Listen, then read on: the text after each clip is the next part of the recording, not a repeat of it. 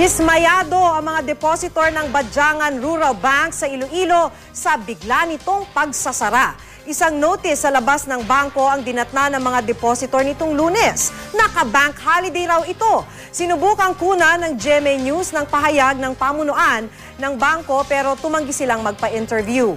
Maging ang lokal na pamahalaan ng Badyangan, wala pang nakukuhang paliwanag mula sa naturang bangko.